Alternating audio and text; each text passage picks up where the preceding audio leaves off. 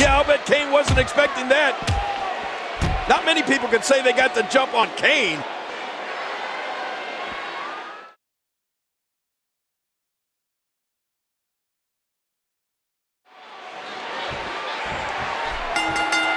Who could ever forget Kane's debut at Badd Blood 1997 when he literally tore the door off Hell in a Cell to get at his brother, The Undertaker. Yeah, and since that time, he's left an impressive path of destruction in his wake.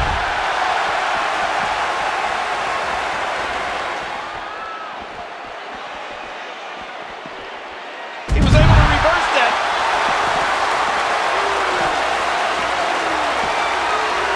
Not a lot of spring left in his step right now. These no DQ matches are so dangerous.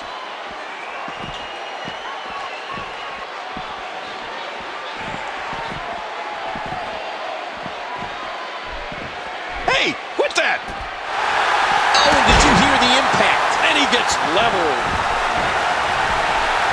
He's got a nasty looking object in his hand. These superstars will do whatever it takes to win here tonight.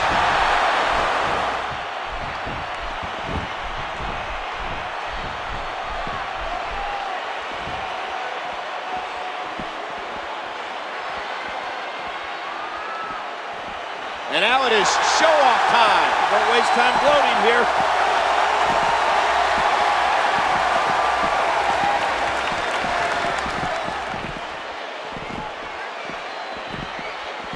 Oh, big elbow. Let's do it. What a beast the monster's been so far.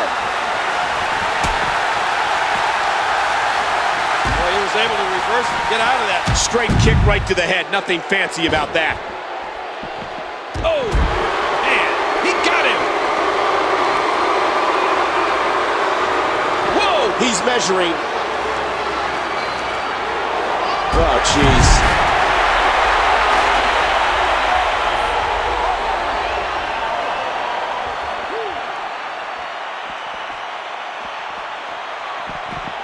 And he gets escorted back through the ropes.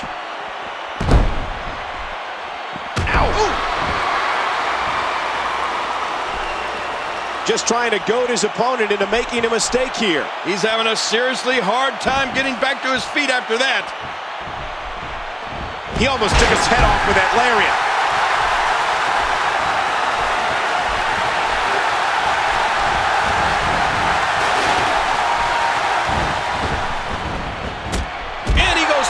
Down to the concrete. Let me remind everybody, there are no countouts.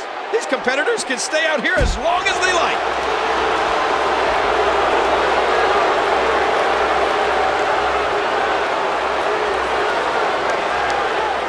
Kane in trouble here. Kane showing some expert prowess here. And there he goes, under the bottom rope. And maybe some order will be restored here.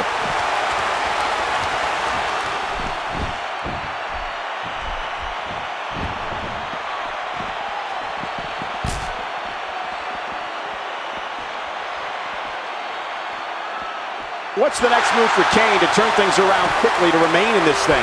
Oh, back to the head. Back. He thinks he has it. The monster wins.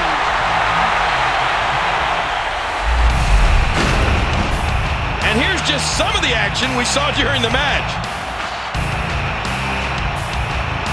And here's some highlights from the matchup.